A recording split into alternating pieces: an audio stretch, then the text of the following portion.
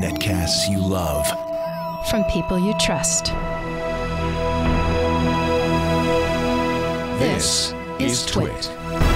Bandwidth for iFive for the iPhone is provided by CacheFly at C-A-C-H-E-F-L-Y dot com. This episode of iFive for the iPhone is brought to you by Gazelle, the fast and simple way to sell your used gadgets. Find out where your used iPhone, iPad, and other Apple products are worth at gazelle.com.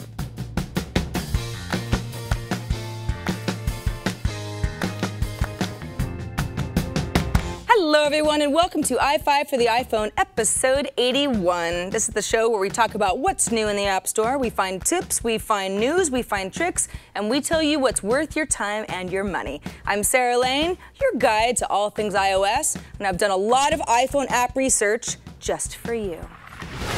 Number one. So, yesterday, a little chat app called Cryptocat went live in the App Store. Now, besides the fact that it's called Cryptocat and therefore very cool already, it's a really simple concept. You give yourself a name, you give your conversation a name, and then you can chat with any of your friends using their chosen handle with the same conversation over a layer of built-in encryption so that this conversation is impossible to intercept by anyone else. What's interesting about this App Store approval, though, is that it initially was rejected by Apple back in December. It was already known as a desktop app and a browser plugin that uses something called OTR, which is off the record messaging, which is a cryptographic protocol that provides strong encryption for instant messaging conversations. It's, it's a known thing. The app's founder, though, Nadim Kobeissi, called Apple's reasons for denying Cryptocat on iOS illegitimate. But the reasoning was kind of a mystery to all of us. Well, The Verge spoke to him about Cryptocat, and although he says he can't talk details as part of his developer non-disclosure agreement, he did say, quote, there was some very important help given by the Electronic Frontier Foundation, and we ended up scheduling a conversation with Apple. And after a while, Apple was very gracious and understanding. So, still kind of a mystery, but suffice it to say, if you're looking for a secure place to talk about stuff you really don't want sniffed out or intercepted, give Cryptocat a try. Your private chats are free. Meow. Number two. So, all of these game changer email apps, there's so many of them. They can't stop, they won't stop. But the latest is an app called Square One Mailbox. It was suggested to me by a friend, and I think he's pretty cool guy. So I gave it a whirl, and I think it's got promise because it's about helping you categorize and then prioritize the kinds of emails that you get. So here's how it works specifically. You just hook it up into your Gmail or your Google Apps accounts. And yes, it only works with Google Mail for now. And as your mail starts coming in, you start putting contacts in categories like VIP or friends or work or travel or finance and so on. By the way, these are all default categories. You can delete them, you can add new ones, whatever. With each filing, though, Square One starts to understand who's important to you and what kinds of emails you actually need a push notification for, and then which emails can wait. It'll organize and pre sort your email into a dashboard and then let you do the rest. Now keep in mind, it's not hiding your unimportant emails. They're not going anywhere. They're all still there. You're just not getting interrupted by them. Because I don't know about you, but I only want to type out email replies on my iPhone if I absolutely have to and it's something that can't wait. I'm out and about, man.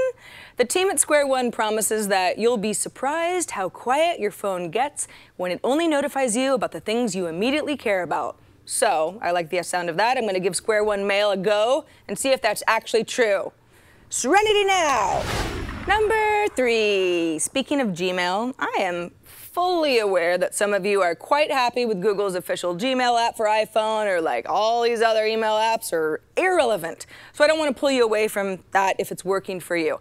What I do want to do is make sure that you know when you get a nice new feature set, and today you do.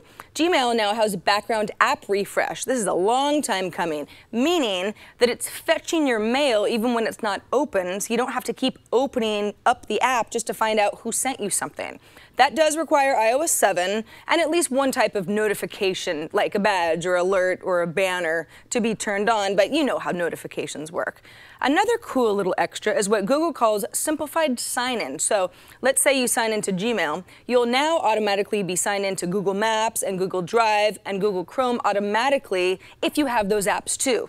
Not a huge thing, but a very convenient one.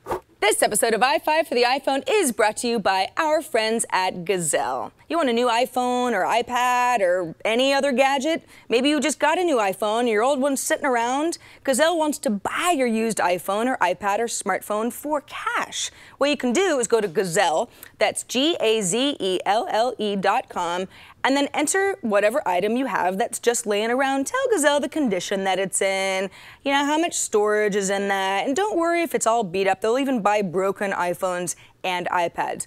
Then Gazelle will give you a risk-free offer for your gadget or your gadgets, and they'll even throw in free shipping. When it's time for Gazelle to pay you, you get paid fast by check, PayPal, or get an extra 5% with an Amazon gift card. You get paid in cash. Payment is fast within just a few days of your item being received by Gazelle. And when I say it's risk free, I mean offers are good for 30 days. So your offer is locked in. It gives you time to transfer data or set up your new device or just be lazy. Gazelle will also wipe your data completely for free. It's trustworthy. The company has paid out a lot of money, over $100 million, to over 700,000 customers. And it's just easy. That free shipping is nice, and there's a fast process. No listing hassles at all. What's your iPhone worth? Take a minute and go to gazelle.com to find out. Do it now because your iPhone may lose value the longer you wait. Thanks to our friends at Gazelle for sponsoring this episode of iFive.